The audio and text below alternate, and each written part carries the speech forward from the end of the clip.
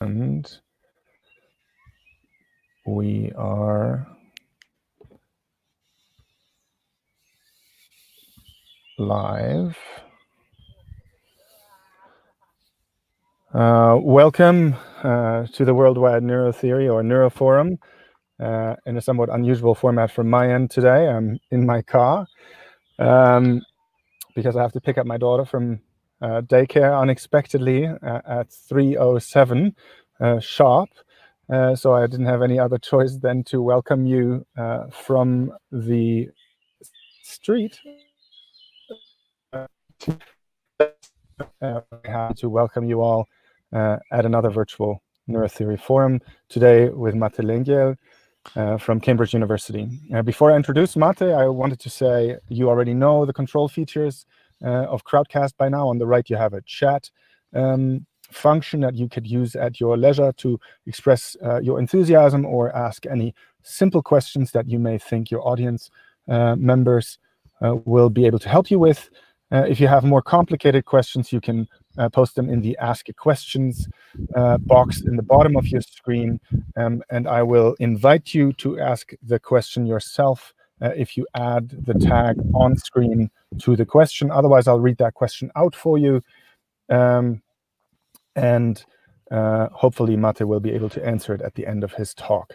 Now, uh, Mate Lengyel is here today from Hungary, actually. Um, he has a joint affiliation uh, between uh, the University of Cambridge and CMU. Is that right? Um, CEU.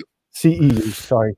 Um, and uh, Mate got his PhD PhD at Eötvös uh, University uh, in Budapest.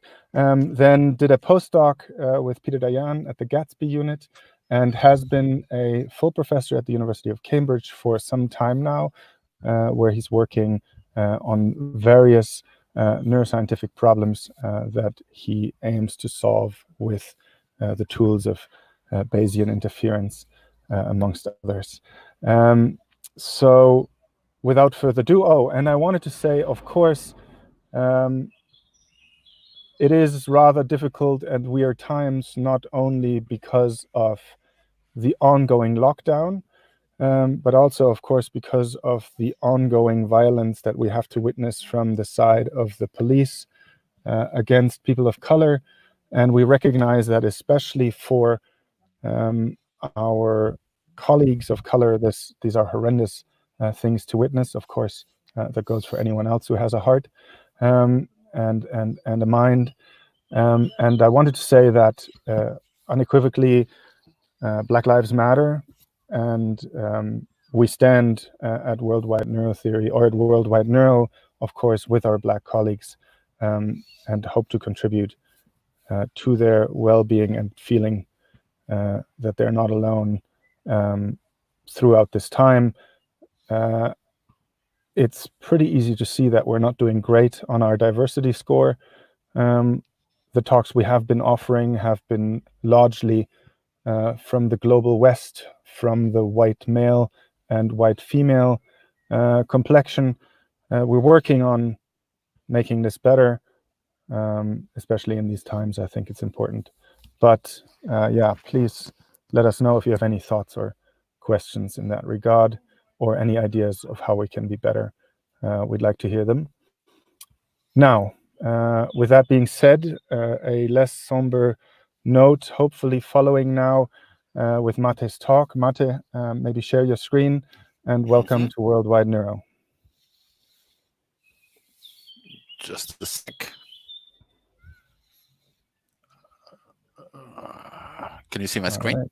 Yep, perfect. I will. Okay, I can't see my screen yet, but I will. I will hopefully be able to in a moment or so. Um,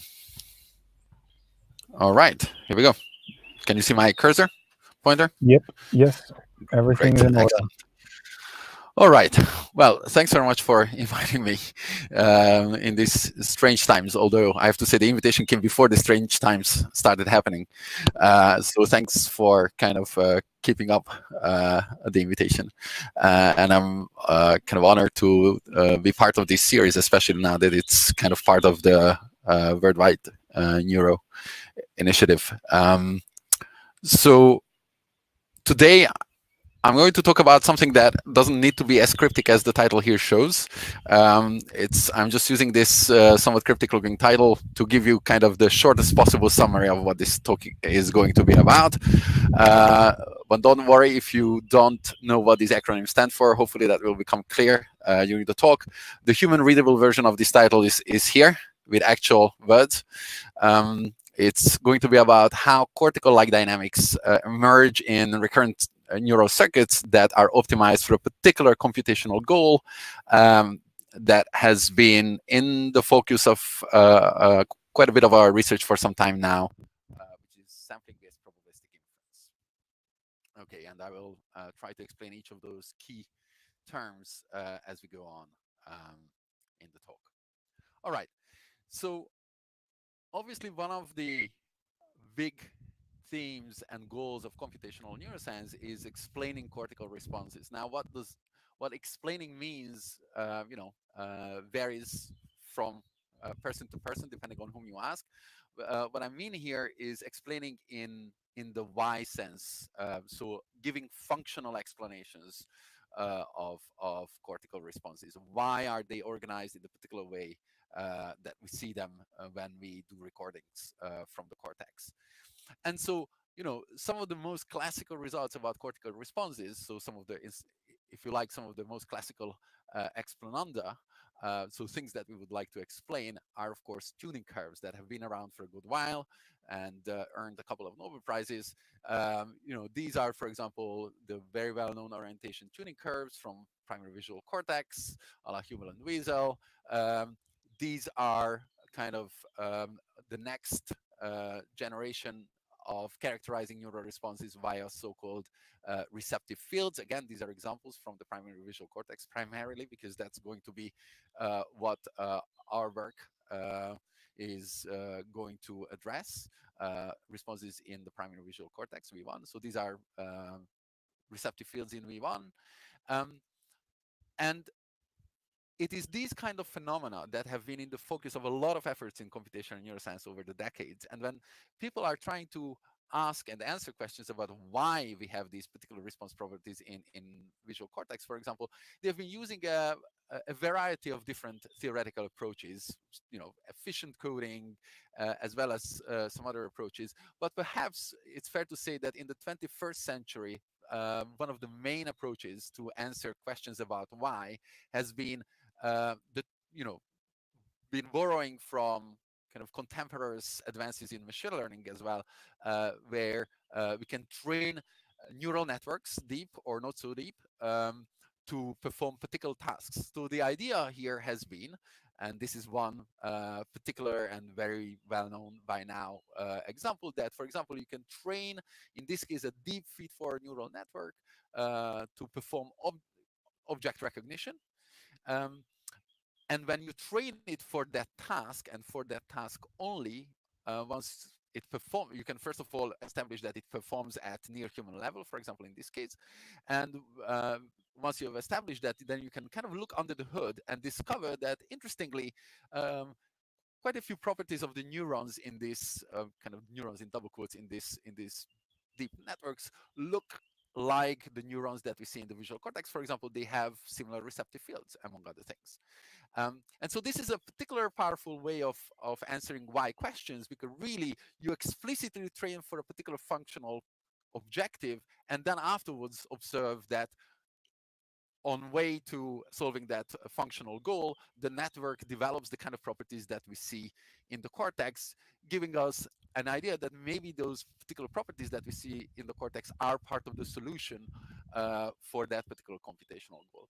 Similarly, um, you know, uh, in uh, in this case, in in higher order cortices such as LIP or FEF, um, you know, decision-related activity has been observed. Um, in this case, as a function of time, um, activity that looks a lot like evidence accumulation in simple decision tasks or more uh, complex contextual decision decision making tasks. And using a similar logic, people have now trained recurrent neural networks. And of course, this is another body of very influential work uh, by David Sussillo and colleagues. Uh, they trained recurrent neural networks, uh, again, for solving a task. In this case, the particular contextual decision-making task that the real animals in the real experiments had to solve. And once again observed that by some measure, the neurons within these networks behaved within these artificial neural networks trained for that particular uh, functional goal behave similarly to um, the neurons that uh, you know the experimentalists recorded from during the same task. Again, giving a uh, give, allowing them to answer questions about why. So that has been a very successful line of research, uh, especially, you know, there has been really an explosion of uh, these kind of uh, approaches in computational and system neuroscience recently. But me, for me personally, um, what I have been interested in is a bunch of aspects of neural activity in cortices, including the visual cortex, that are not often mentioned in this context and are often essentially treated as nuisance. Uh, stuff that is maybe there, but is probably not very functional and something that we don't really want to model, uh, even because uh, you know they, we don't think they are relevant at all. And these include um, uh, a bunch of other kinds of uh, behaviors of, of cortical networks that in contrast to all the kind of behaviors that we saw here up here that previous approaches have tried to address, all that was about trial average behavior in the end. Tuning curves, receptive fields, um, even these uh, kind of uh, evidence integration like activities in LIP are heavily based on trial averages.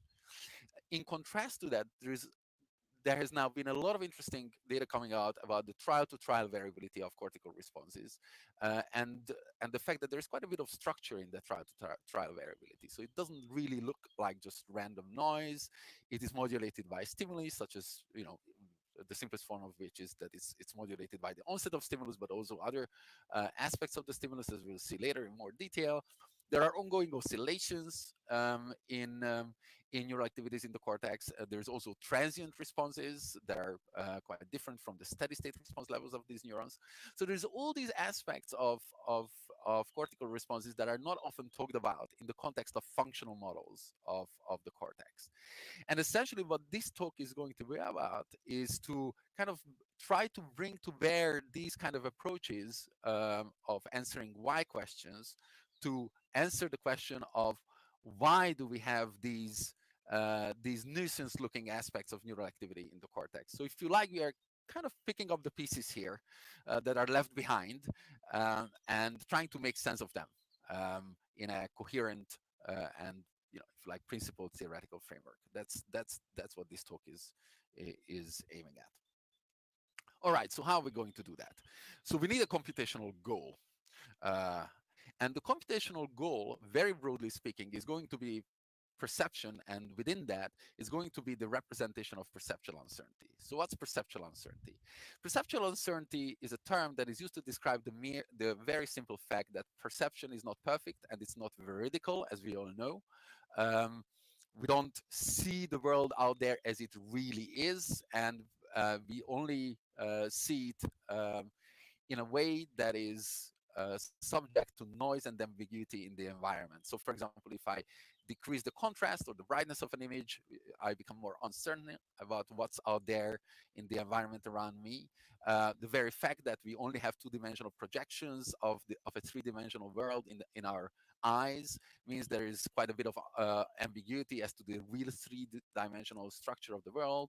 Um, there are some stimuli that are uh, that are just fundamentally such that that they allow multiple different interpretations, and of course, there's also the fundamental problem of, uh, that we only ever see a small part of the environment around us. Uh, we only see the, the, the world through a through a very limited keyhole, an aperture, uh, which means that we can never be quite sure what's really out there beyond the keyhole through which we are picking uh, out to our environment. So in, in, this example, you know, when you see this kind of stimulus, you can't really be sure whether the environment around you looks like this or looks something like this. And these are just, you know, a couple of, you know, highlight examples of why perception is fundamentally um, uh, riddled with uncertainty. And so once you recognize that perception, as by the way, almost any other cognitive uh, faculty is, is, is riddled with uncertainty. Um, then the next question is what's what's the right way of dealing with this uncertainty, uh, especially if you're trying to build a functional model. That's the kind of question you need to answer. What's what would be the right way, in some way, the optimal way to to deal with, in this case, perceptual uncertainty. And so the mathematical framework for dealing with uncertainty is, of course, that of probability theory. So in this case, in the context of perception, for example, uh, what uh, we would like to have is what is also known as an ideal observer in cognitive science and, and psychology, um, which essentially um, infers a a so-called posterior probability distribution over the features of the world that are of interest. For example, you know, what what is exactly the environment around me like? What's what's out there? Uh, things that i can't know directly i don't have direct access to but I, what i do have direct access to is is the stimulus of course you know whatever is coming through my senses. Um, and so this posterior distribution essentially uh, describes the probability with which the features of the world can be in any one particular combination given the information that i have directly arriving at my sensors the stimulus. So that, in principle, uh, can be a very high dimensional and complex mathematical object. And, um, and there is some behavioral evidence, at least, that at least very approximately our brain does represent uncertainty in a probabilistically uh, coherent way, i.e., you know, um, following the basic rules of probability but the question is how exactly it does it. what are the neural mechanisms and the neural representations that underlie uh, such an at least an approximate representation of uncertainty?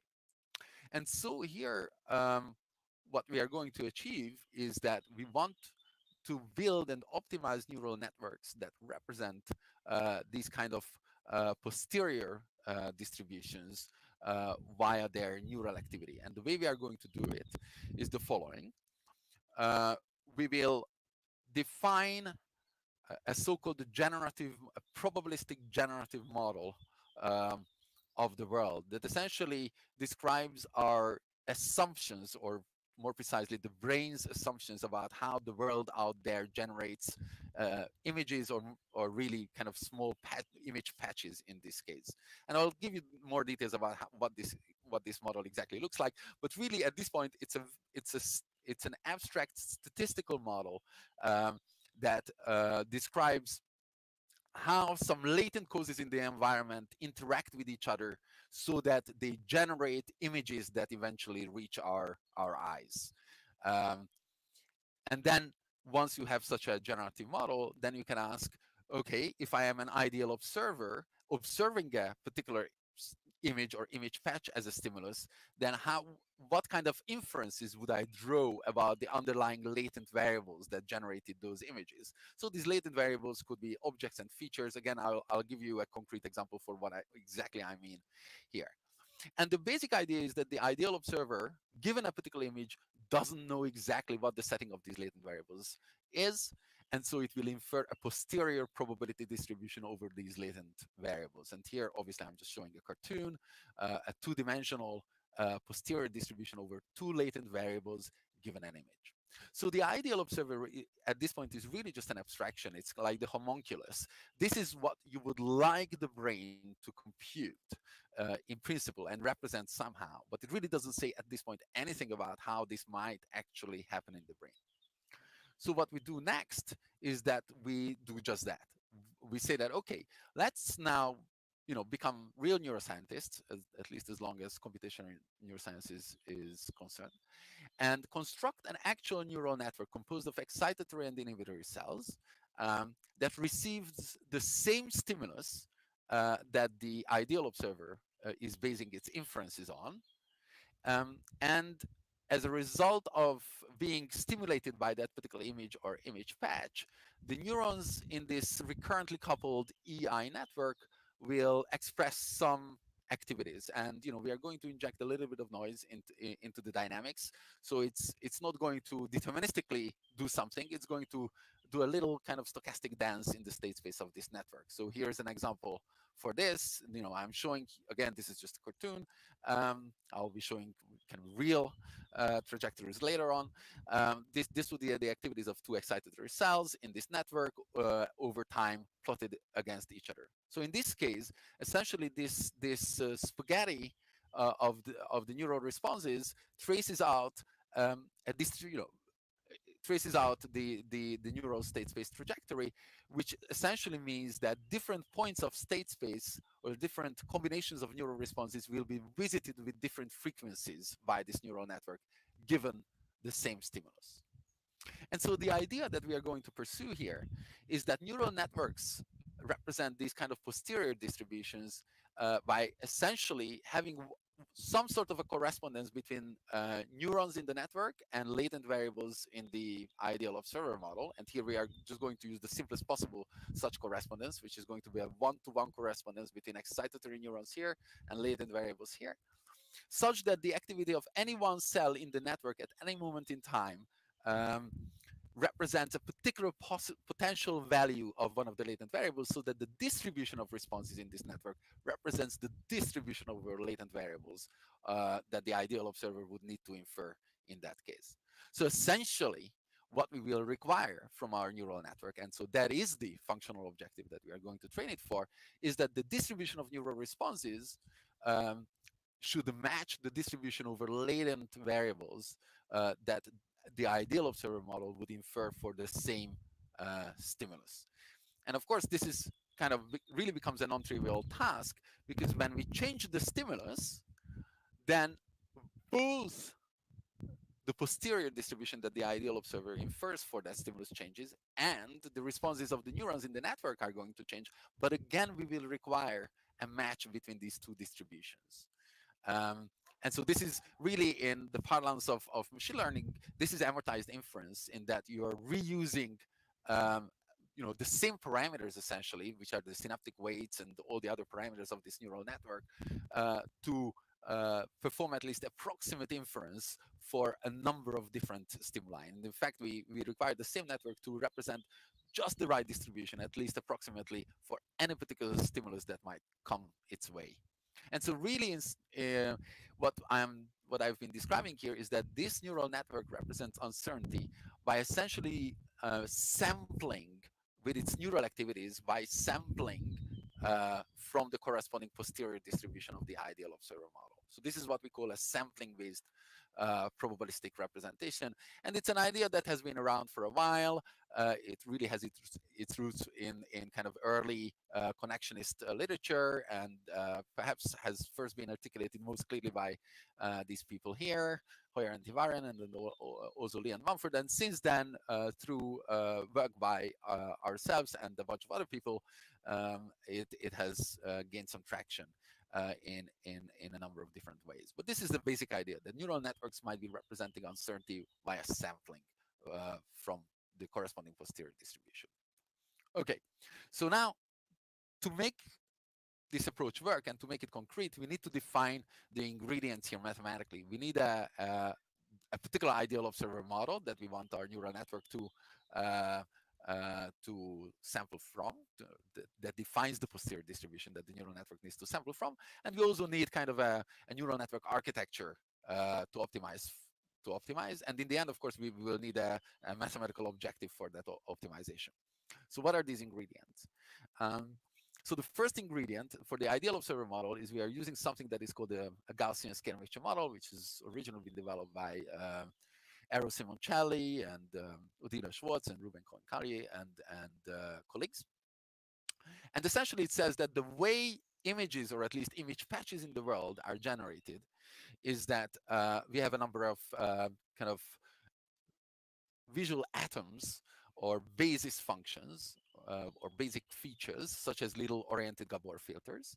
Um, so we have a fixed dictionary of these and for each image or image patch that is being generated, um, each uh, we we kind of mix these um, atoms with different intensities, and so the dictionary remains the same throughout our lifetime or throughout a, a long time window. Um, but these coefficients with which they get activated for any particular image patch uh, are different from one image patch to another. So essentially, if an image patch is X, then it can be described as a linear combination of these basis functions with these particular coefficients. So that is, if you're familiar with, for example, the sparse coding model, that, that would be very similar to this, except here uh, there is an additional element, which is that we are going to introduce an additional variable, uh, which which scales essentially the contrast, uh, the overall contrast level of this uh, of this image patch. Um, and um, so when when when it's zero, there is nothing in the image, and when it's it's uh, it takes on a high value, then it's a high contrast image. All right, and uh, for good measure, we will add, we will allow some noise to happen at the level of pixels. Okay, and so uh, and obviously for for it to be a well-defined probabilistic generative model of natural image patches, uh, we need to define some priors over both the y variables and the z variables, and the y variables happen to have a Gaussian prior or a normal prior, and hence it's called a Gaussian scale mixture. And the Z essentially, as you can see, sets the scale of the generated uh, image patches. So hence the name Gaussian scale mixture. All right, so so far this has nothing to do with the brain as such uh, on the face of it. This is just a statistical model uh, that might generate uh, image patches, but it has been shown uh, that not only it's uh, it's it, it's a pretty good first order approximation to the uh, to the statistics of natural image patches or at least textures um, uh, by inverting it so essentially making the assumption that the brain at least approximately tries to invert this model and infer the values of these y variables here uh, uh one can explain a whole lot of uh, phenomena both kind of in neural recordings and and in psychophysics so behavioral phenomena as well. All right. Now importantly uh, all that previous work was once again uh, based, uh, especially the ones that regard neural activities, were based on the average responses of neurons and kind of the average inferences that one can draw about these y variables. So the posterior mean or the or the or the maximum of the posterior distribution. So uh, what we have shown um, following uh, that body of work is that actually if you assume that uh, the brain performs kind of a fuller form of Bayesian inference. That is, it really tries to represent via sampling uh, the full posterior distribution, at least approximately, uh, over these y variables given a particular image. That explains a number of different phenomena regarding the variability, the kind of the stationary or the steady state variability of neural responses in visual cortex, including the you know, the matching of spontaneous and, and evoked activity distributions, as well as uh, things like the quenching of uh, variability by stimulus onset in visual cortex, as well as in other cortices. Okay, so in this previous work, essentially what we have done is that we showed that the posterior distribution, uh, the, an, an, ideal observer's posterior distribution under the Gaussian scale mixture model um, explains the stationary statistics of response variability in V1. But really that previous work didn't say anything about that the dynamics of neural responses in V1. So uh, more recently, we have also been looking at the dynamics of V1 responses in a particular class of networks called the stochastic stabilized supralinear network developed by Ken Miller and colleagues. Um, and essentially it's uh, it's uh, you know it's based on a pretty standard rate-based description of uh, of a neural network, an EI neural network. So here, uh, this equation would uh, describe how the membrane potential the low-pass filtered somatic membrane potential of a neuron evolves over time um, as a function of its own activity. So this term would uh, describe uh, the leak together with this membrane time constant.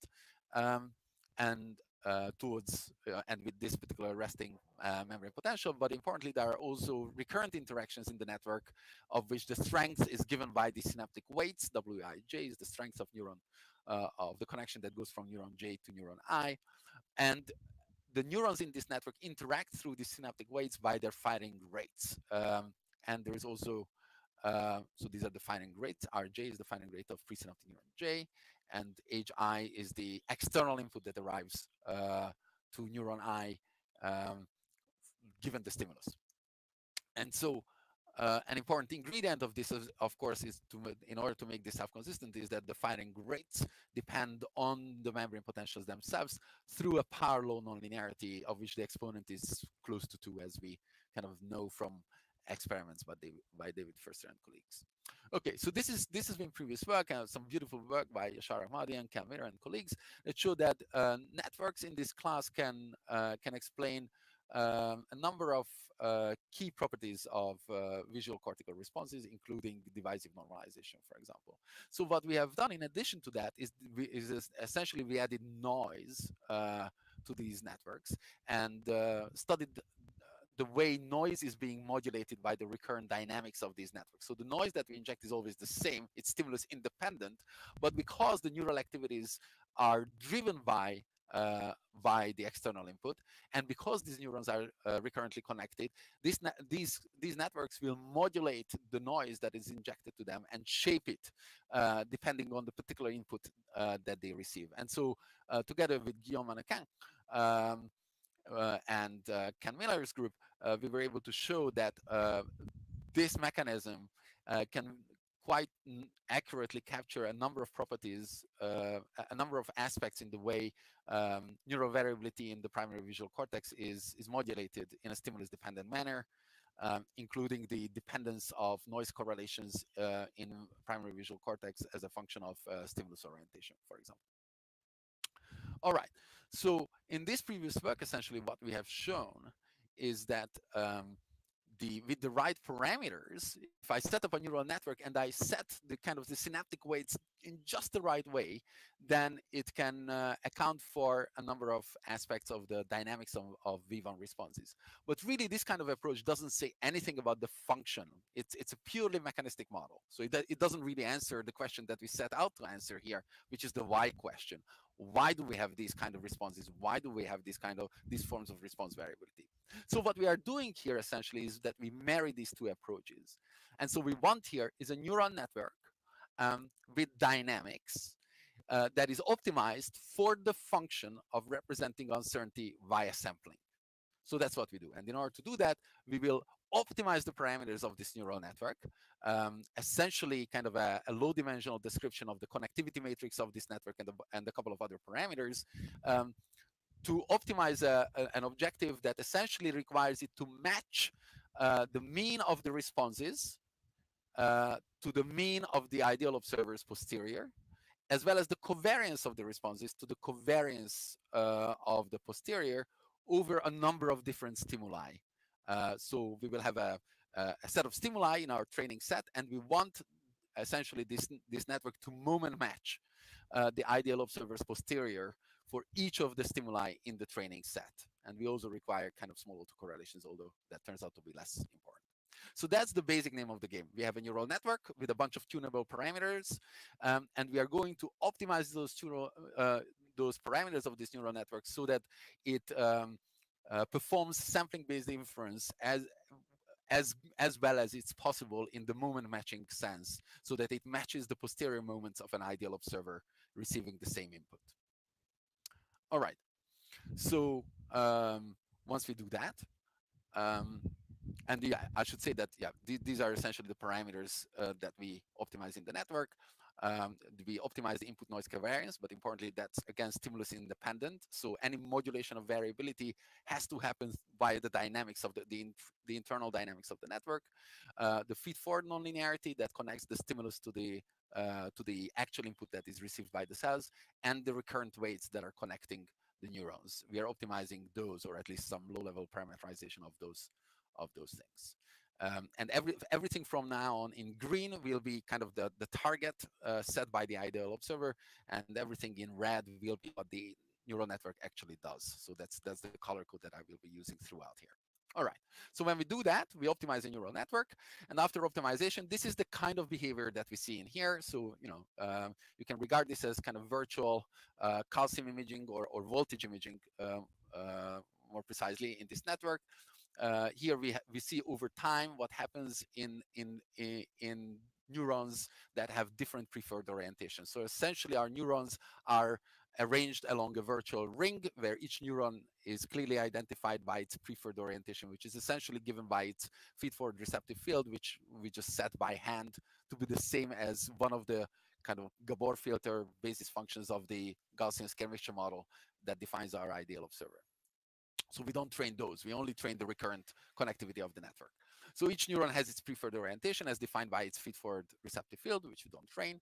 And so here we are plotting how the activity of different neurons in the network evolves over time uh, when there is no stimulus out there. So this is spontaneous activity, if you like, and this is evoked activity when we stimulate the network with a with an uh, with an oriented uh, uh stimulus that has a dominant orientation at zero degrees. And you can see that indeed it's those neurons that have a preferred orientation at zero that become most active. But there's a lot of fluctuations in, in, in network activity here over time that you can see.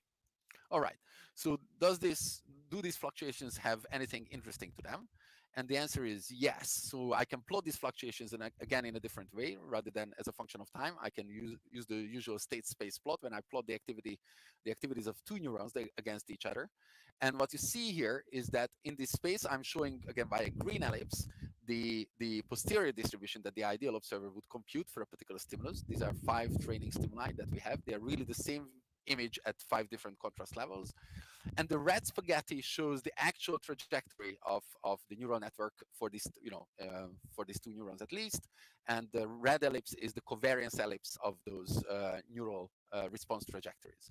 And what you can see here is that actually this apparently noisy dance of neural activities that happens over time, in each case traces out just about the right kind of uh, posterior covariance that is defined by the ideal observer model. And we can be kind of more systematic and see that, you know, for stimulus uh, at all sorts of different con at, uh, contrast levels, at all sorts of different uh, stimulus orientations, um, the mean activities in the network are reasonably well matched to the posterior mean of the ideal observer and the and the variability of neural responses is reasonably well matched to the variance or the standard deviation under the ideal observer's posterior, although the match is not perfect, that's also clear.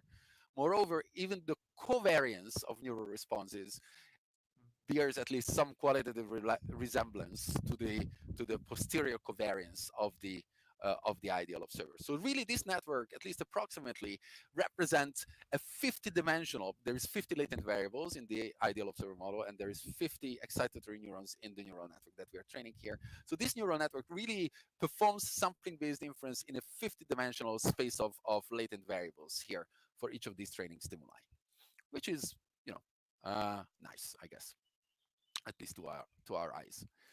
All right. So now this was just for the five training images that we trained the network on. So now, obviously, the next thing we need to look at to establish it, that it's computation, it's computationally uh, uh, a competent network, is that it generalizes to stimuli that it has not been trained on. And so first we generalize to new contrast levels, and we see that so the five trained contrast levels are shown by circles here. Um, and you can see that the network kind of interpolates between them in a in a in a reasonable way. Again, uh, at least qualitatively matching the the way the posterior of the ideal observer behaves, both in the mean and the variability. Um, but moreover, we can be a bit more demanding here. We can uh, set the bar higher and also uh, require the net, you know, look at how the network generalizes to completely novel stimuli that sometimes don't look at all uh, anything like what it has been trained on. In particular, note that the that the image that the network has been trained on included a single dominant orientation. Uh, but we will, but now we are also testing it with some example images here or some example stimuli um, that have more than one dominant orientation uh, in them. And again, we see a very reasonable match between the uh, ideal observer's posterior green and the network's response uh, red, both in terms of the mean as well as the kind of the principal components of the full uh, posterior covariance or kind of noise uh, uh, covariance matrix in the in, in the network. Um, so this network seems to be quite competently performing uh, sampling-based inference, even for stimuli that, that it has not been explicitly trained on, and even for stimuli that are quite different from those that it has been trained on. Uh, and this is just two scatter plots that show what the required and, and what the actual response is in the network, again, both in terms of its mean and the covariance of its uh, uh, of its responses where each dot here is a is a different neuron in a different image. Um, and uh, the purple dots are the training images and the orange dots are the are the test images. All right. Um, so one final note about you know how kind of computational competent this network is. Uh, when you do sampling based inference um, uh, one critical asset is time right? Because you need to wait until this network collects enough responses, uh, you know, uh, has had enough time to dance around in a large enough part of state space that it uh, at least approximately accurately represents the posterior distribution. So time is of really essence here. And so uh, what we see here is, is, so what we looked at next is, is the autocorrelation function um, of a representative neuron in the in this network. Uh, this is actually the average autocorrelation across all neurons. Um, and what you see here is that these autocorrelations decay surprisingly fast. So the autocorrelation, even though it's a strongly connected network, otherwise it would not be able to modulate its its variability. Um, and you know, uh, strongly connected networks can very easily slow down. Uh, for example, attractor networks do do that. Um, uh, often if you have if they have multiple attractors you can you know, they can slow down as you transition from one attractor to another. Uh, that doesn't happen here. This network is essentially as fast as a disconnected network would be. So it's it's it's almost as fast as it possibly can be. Um, and uh, it, this in particular becomes interesting in comparison to kind of an off-the-shelf machine learning algorithm for sampling from uh, from uh, from high-dimensional posterior distributions uh, in the in this way. Um, uh, which is also interesting not only because it's a kind of a standard machine learning algorithm, but also because uh, a number of previous proposals for how neural networks might implement sampling like dynamics essentially were based on this particular machine learning algorithm, which is called the Langevin algorithm. And as you can see, the Langevin sampler is much, much slower than, than our network. So our network in some clever way really discovered a, a very fast way of, of sampling uh, from the right posterior distribution. And one critical aspect of this is that as opposed to the Langevin dynamics, which is essentially by construction uh, time symmetric, um, our network turns out to be asymmetric in time. Um, uh, so in, in a statistical sense, uh, not in a kind of a biological sense, but in a statistical sense, it doesn't obey detailed balance. Uh, so that the probability of going from one place in state space to another is not the same as the probability of transitioning back. And that turns out to be uh, a key discovery that uh, machine learning, you know, uh, relatively recent machine learning algorithms have also made in order to speed up sampling. But our network kind of discovers it on its own just by the mere fact that we are optimizing it to kind of do fast sampling-based uh, inference. And so dynamically, what's interesting is that uh, there's no detailed balance in the dynamics of our network, which is essentially, which therefore essentially has non-equilibrium dynamics. And so we can also make a prediction uh, from this uh, that is to be tested in future experiments about how exactly the lag between uh, between uh, excitatory and inhibitory inputs to the same neuron should be modulated by contrast as well as the orientation of the stimuli. Um, and um, so that's a prediction that uh, that would be really interesting to test because that comes out quite robustly from our network. And it seems to be a kind of a signature of the network exhibiting uh, non-equilibrium dynamics here. All right. So, so much about computational performance. The key question for us was, okay, so after we have optimized our network for this particular computational goal, fast sampling-based probabilistic inference, what does it what does its kind of overall behavior uh, look like? Does it behave at least is by some measure as a piece of cortex or as a piece of the primary visual cortex. So the first thing, of course, that we wanted to check is that it has, you know, the neurons in the network have reasonable tuning curves, and they kind of do, at least qualitatively, and they also show roughly at least, again, qualitative, the, the right form of uh, variability modulation by the stimulus. And again, here, this is spontaneous activity, uh, uh, variability as here is measured by Fano factors to make it comparable to, to experimental data, is overall quenched at stimulus onset, and the exact amount of quenching depends on, on stimulus contrast. Um, but this is this was almost a given uh, because we already knew that if you have a network that somehow manages to sample from the posterior distribution of a Gaussian scale mixture model, it would have these kind of properties. This is something we knew from our prior work. What we did not know is whether on top of showing the steady state response properties, whether it will have any interesting dynamics underlying these uh, steady state responses. And the answer is that yes, it does. So first of all, it shows marked gamma oscillations. So oscillations in the kind of 40 to 80, 40 to um, yeah, roughly 40 to 80 hertz uh, band, uh, of which the frequency is modulated by the contrast of the stimulus. So the higher contrast, the higher the gamma oscillation frequency peak, the, or the, the frequency, the frequency of the gamma peak. Um, it also shows marked transient transient overshoots at, at stimulus onset. So the black bar here is when the stimulus is presented. This on the left, you always have experimental data. On the right, you have the behavior of the network. And again, there is a qualitative match. There is a strong. There are strong onset transient overshoots, and of which the magnitude again is modulated by by the contrast of the stimulus. And these transients are inhibition dominated, so that inhibition is, is stronger than excitation if you look at any one particular neuron here. Okay, so that was interesting because these were really not things that we directly trained the network for. Um, we really only constrained its steady state response moment and the fact, and we also trained it to be fast. But other than that, we did not train this network to in any explicit way to show these properties. It really just came out that way. So we really wanted to do two things at this point. First of all, we wanted to convince ourselves that you know this is this is not because this is not just you know we've trained an EI network that of course you would get oscillations, of course you would get transients. Um, that it's it really has to do something with the particular objective, functional objective that, that we trained our network for. Um, and so we trained a network with exactly the same architecture, EI network, exactly the same hyperparameters, exactly the same training protocol as before. With the only difference is that it is not required to modulate its response variability. It's required to modulate the mean of its responses in exactly the same way as our network, but not the variability of responses. And that's important because that's kind of really a signature of sampling-based inference is that it uses the variability of neural responses to represent uncertainty. So we wanted to see what happens if we knock out exactly that element from our objective. So that's what we did next. We knocked out the kind of the second order terms in our uh, objective.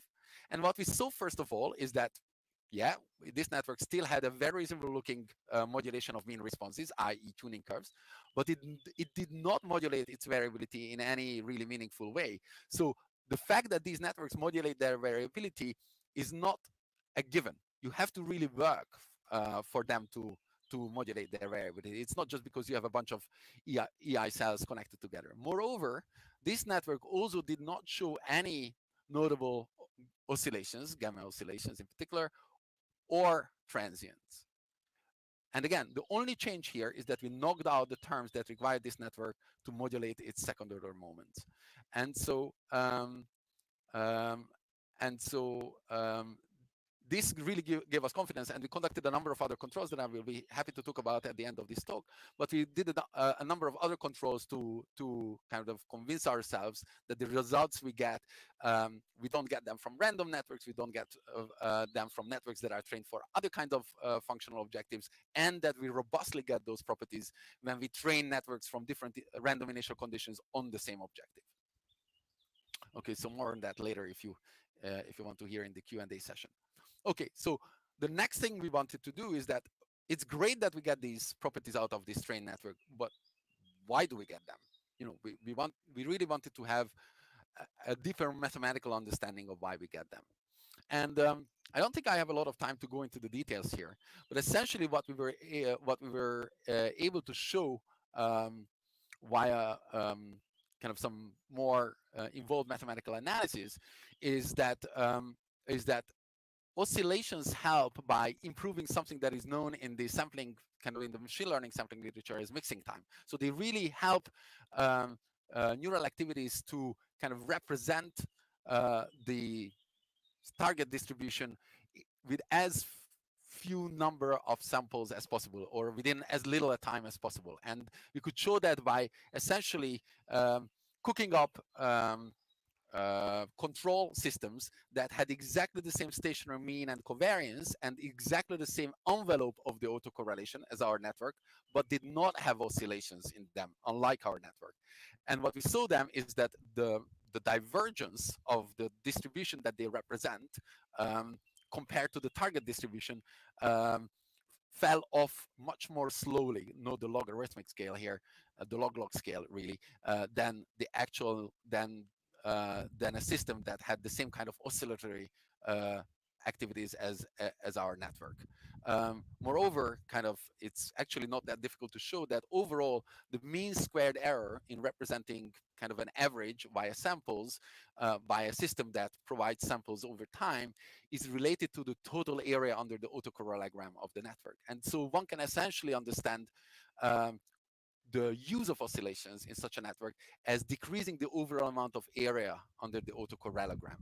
because these oscillations create lobes in the autocorrelogram that bite out, if you like, area from under the autocorrelogram compared to kind of uh, a system that has the same envelope but doesn't have oscillations in, in the autocorrelogram. And this kind of analysis made some further more specific predictions about how oscillation frequency as well as oscillation amplitude should scale with the with the total covariance um, of of the posterior that you are trying to sample from, or the uh, covariance along a uh, uh, uh, along a particular principal component.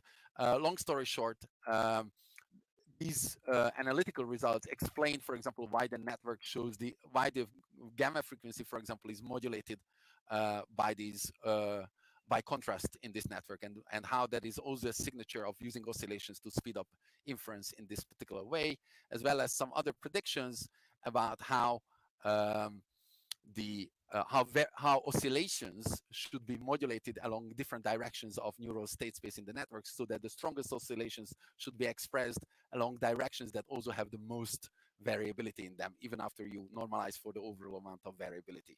So that's again kind of a prediction to be tested in the future uh, that um, oscillations are preferably expressed in a speed up, uh, you know, in, in a sampling in a network that is optimized for fast sampling oscillations should be expressed preferentially along directions of greatest response variance.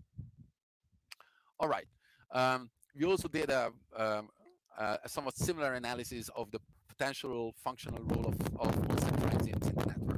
And there, the main insight here is that although transients look like a really crazy idea, uh, when you want to represent the distribution because you know the activities that you visit during the transient seem really out of the distribution out of outside the steady state distribution here it turns out that um, by taking a different perspective i.e. that you really want to do continual inference you want to represent a target posterior at any moment in time over a sliding time window that uh, that gives a motivation and just and mathematical justification for the presence of transient overshoots. In particular, one way to think about it is that imagine taking the simplest example is that you want to uh, represent in the mean of your responses a particular target, which will be this green line over time here that changes abruptly from some baseline level to some other level here. So that's the green line here.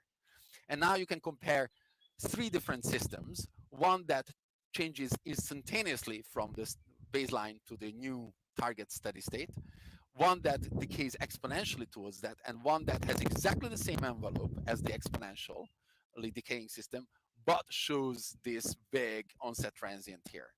And you can now take a sliding window over which you average these neural responses and ask within that window, if I average neural responses given by these three different systems, the black, the gray, and the red line, if I average neural responses given by those three systems, how would those averages compare to the target that they should really represent?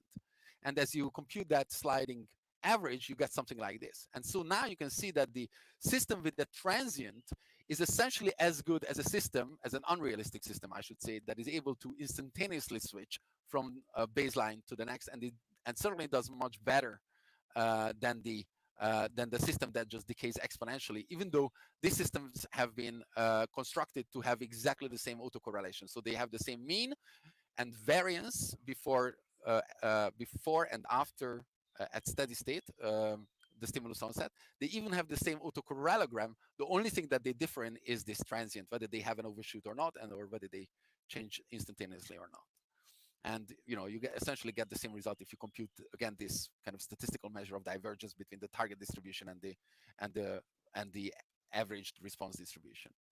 And so the the the key insight here is that when you want to when you want neural responses to express for example an average in a sliding time window you essentially require that their convolution matches a target.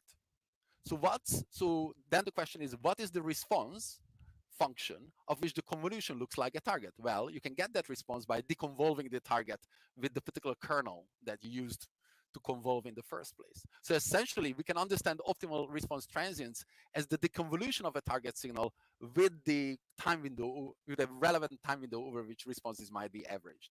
And when we do that mathematical analysis and compute optimal transients in closed analytical form, indeed we get transients that look at least qualitatively similar to the kind of transients that our network expressed. and this analysis also makes another interesting prediction, which is that the magnitude of the transients should scale directly with the uh, with the steady state um, level that needs to be reached after the after the transients. So the bigger the step that you want to uh, represent, the larger proportionally the transient should be that you express uh, at stimulus onset.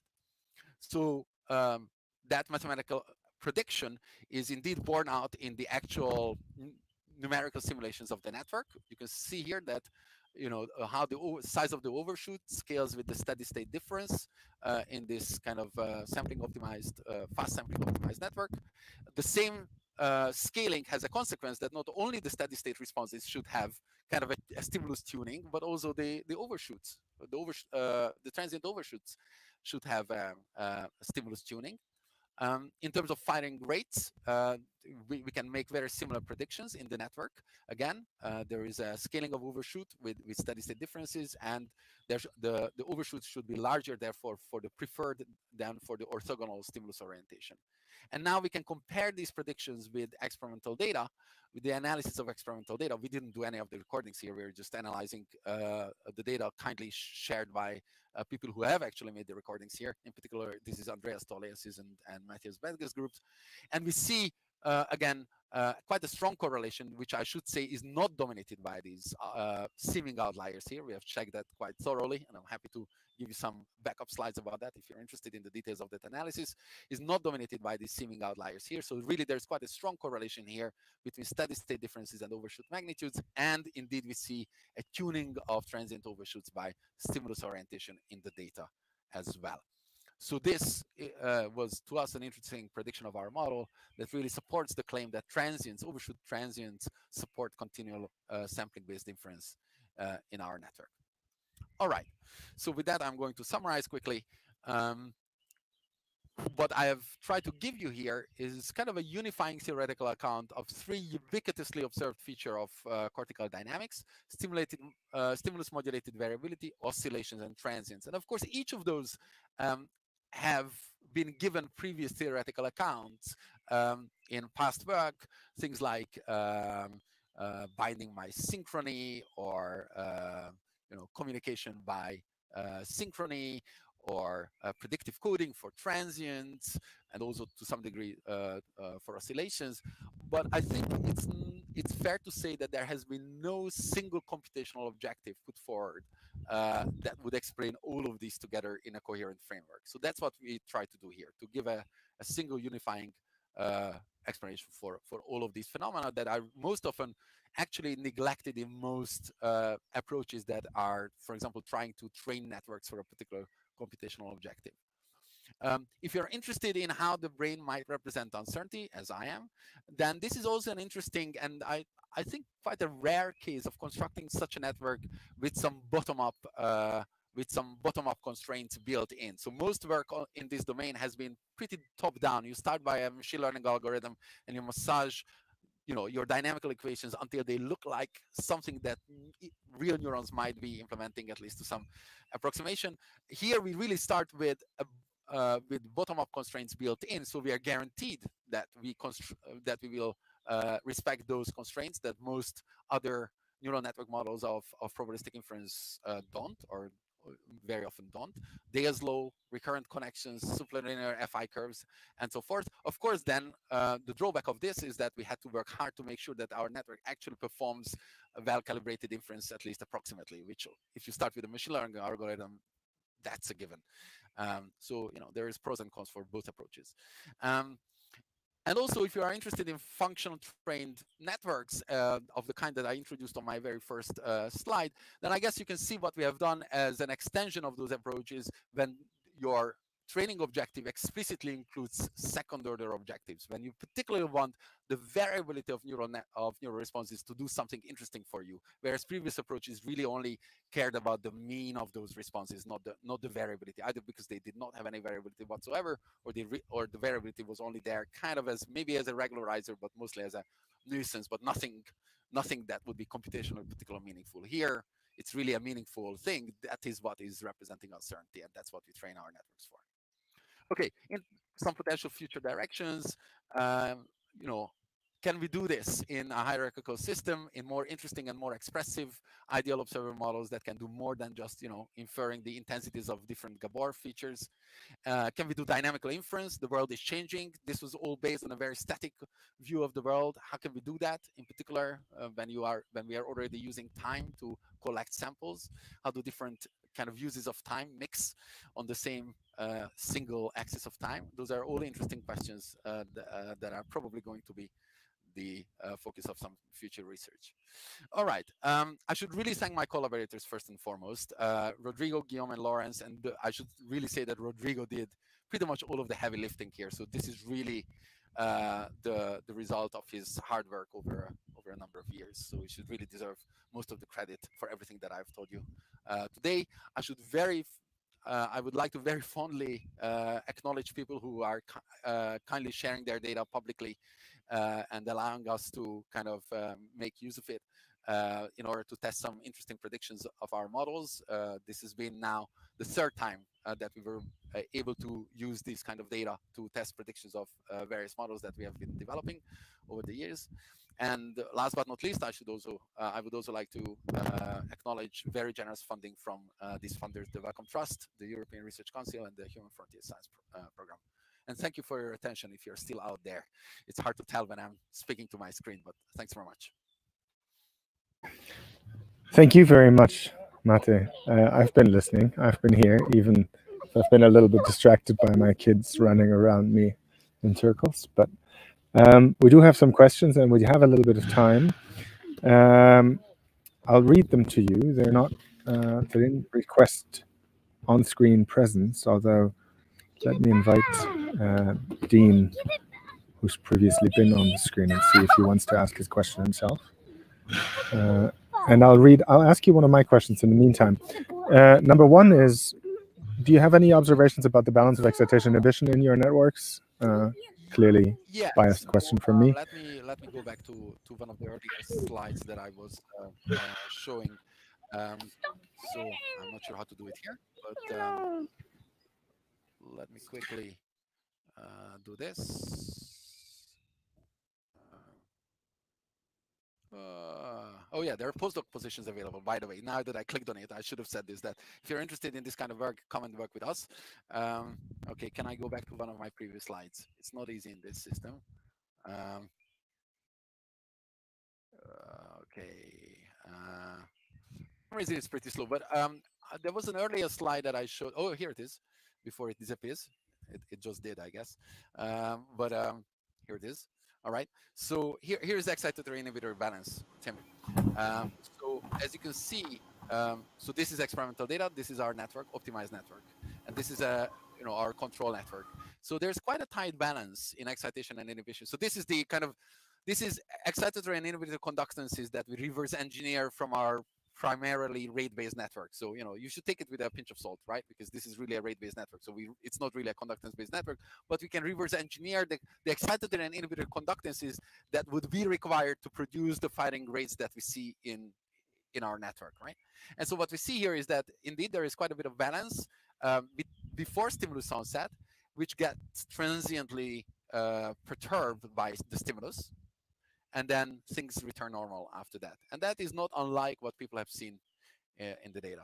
Uh, so I don't know if that answers your question, but that's that's the best I can give you in terms of excitatory Okay, well, that's pretty good, yeah. Um, if you wanted to build this in a spiking system, what would be preventing you? Um, laziness. Um, right. So I don't. Uh, I mean, I don't. I don't have a really uh, principled answer to that. Um, we in, in, principle, we should be able to, and perhaps we should uh, build uh, a spiking uh, network out of this. But you know, as long as under the usual conditions for a uh, for rate-based network being a reasonable approximation of a spiking network, um, you know, shown in papers such as, let me see, Onneken et al. Neuron 2014. You might be familiar with that one. Um, where you know people build fundamentally rate-based networks and then show that you know if you construct a spiking network you know it's it's reasonably well approximated by the by, by the original rate-based we can we can we could do a similar thing and hope uh, that it would work out in the same way um, I think the really deep question here is is what, you know being slightly more realistic or much more realistic depending on your taste. Is there kind of a functional advantage uh, to kind of adding spikes uh, to these kind of computations? And I think there's some interesting ideas out there, but I don't have a a strong favorite as yet. Uh, but as long as just let's do the same thing in a spiking network, I think it's probably possible with, with high probability. Um, yeah, uh, but I think the really interesting question would be, is there anything more that a spiking network could do on top of this? And, and that I don't know yet. I really don't. Fair enough. Thank you. Um, Dean, do you want to ask your question? I just unmuted your microphone. Okay, thanks. Um, I was wondering how important it is for the model that individual neurons capture the latent variables or if they can be captured by principal components or mixtures of neurons. Right, that's a very good question. Um, so the short answer is that we don't know because we haven't tried. Um, so I can only give you a speculative answer. I don't think it matters hugely. Uh, at least none of our mathematical analysis really requires that there is a one-to-one correspondence. So I would expect these to generalize uh, to the case when you have a kind of a, a more distributed representation of, of latent variables, but we don't know for sure until we try. I think that's the honest answer to that. But I think that's Thanks. a very good question.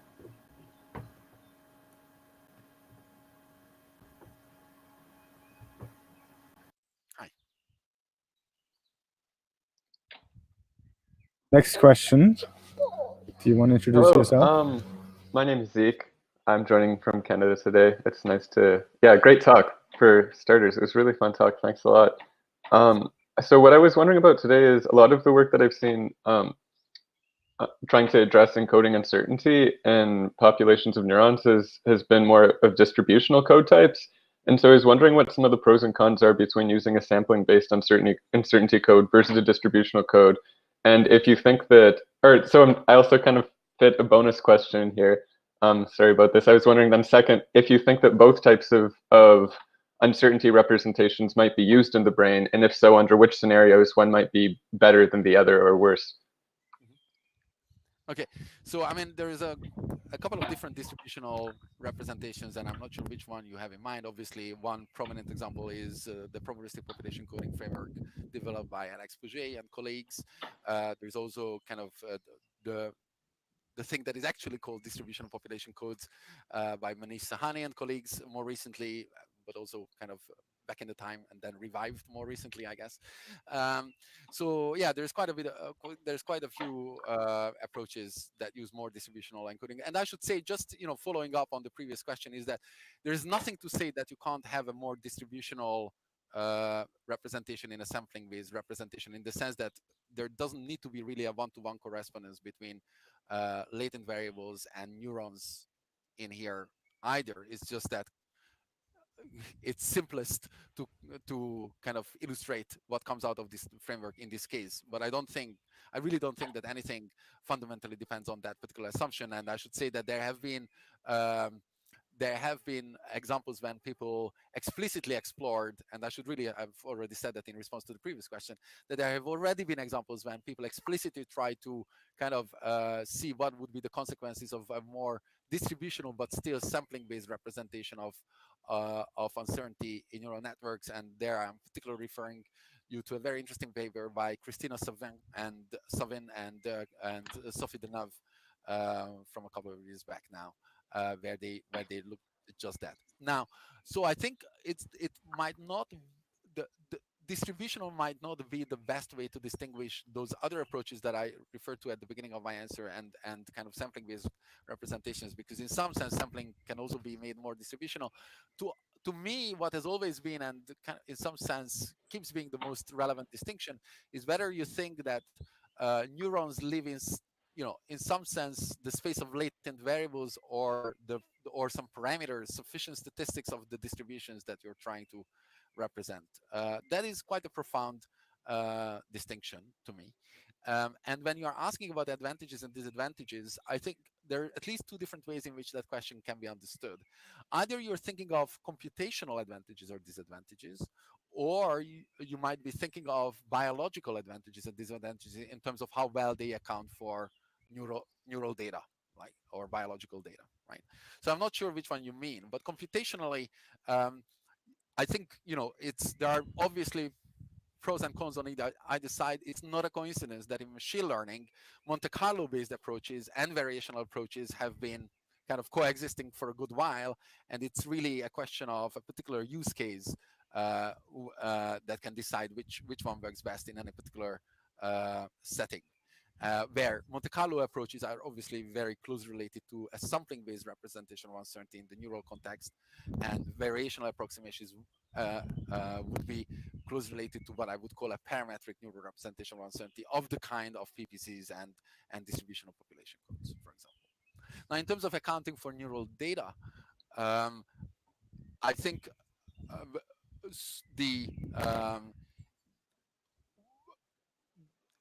there are some things that they can all account for, and there are things that uh, only one or the other can account for. So I should say straight away that you know sampling has really mostly been worked out for relatively so far uh, relatively low level uh, kind of sensory cortices such as primary visual cortex as in my talk right uh, whereas um, for example ppcs have been already applied to kind of higher level decision making related neural activities as well um, so uh, but i would say that pro- that you know my subjective view is that as, at least as, for example, variability in V1 goes, sampling seems to uh, give a more comprehensive uh, uh, account of uh, the phenomena uh, regarding neural variability in V1, for example, than, than PPCs.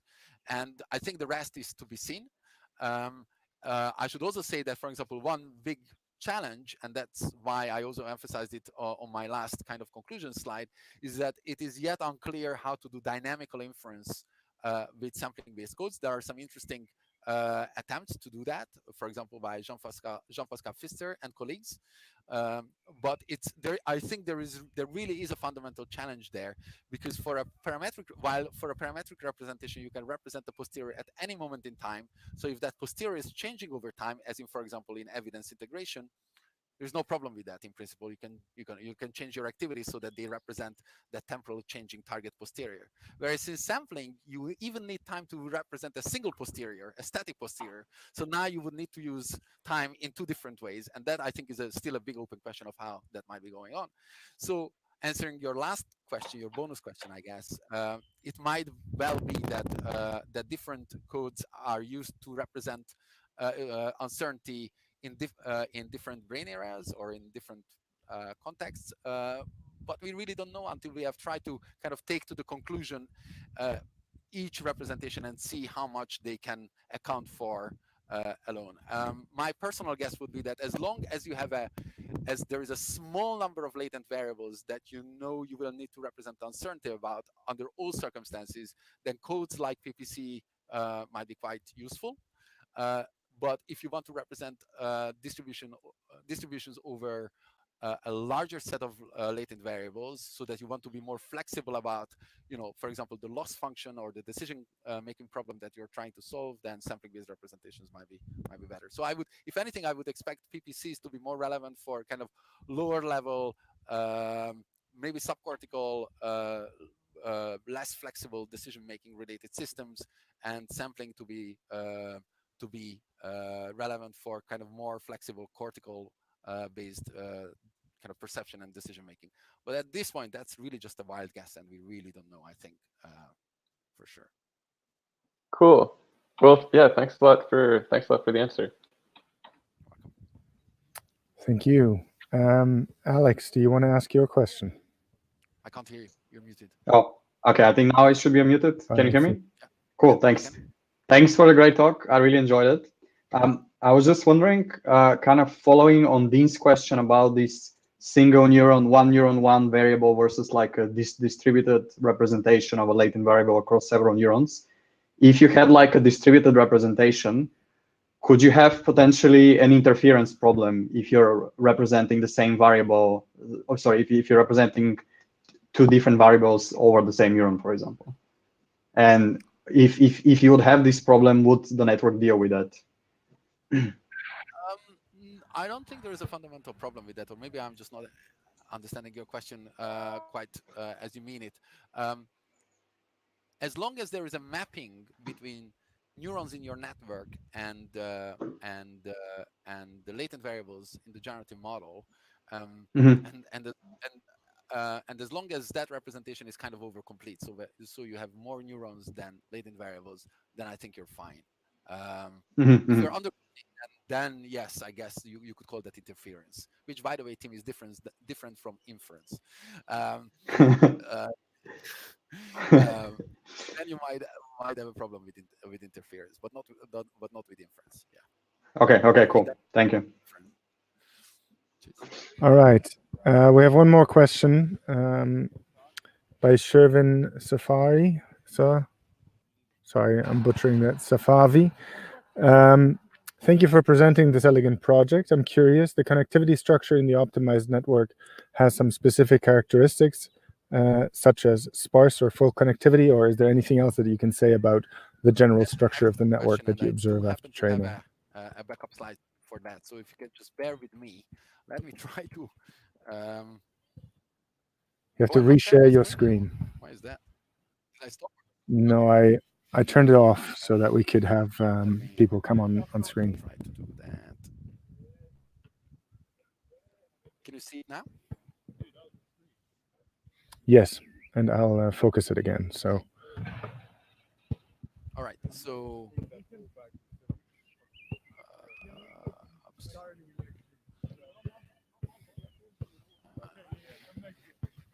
uh. This is going to be very. So how do I do that? Um, uh, I guess there is no no real good way of, of doing this. Let me. Maybe I can try. Uh,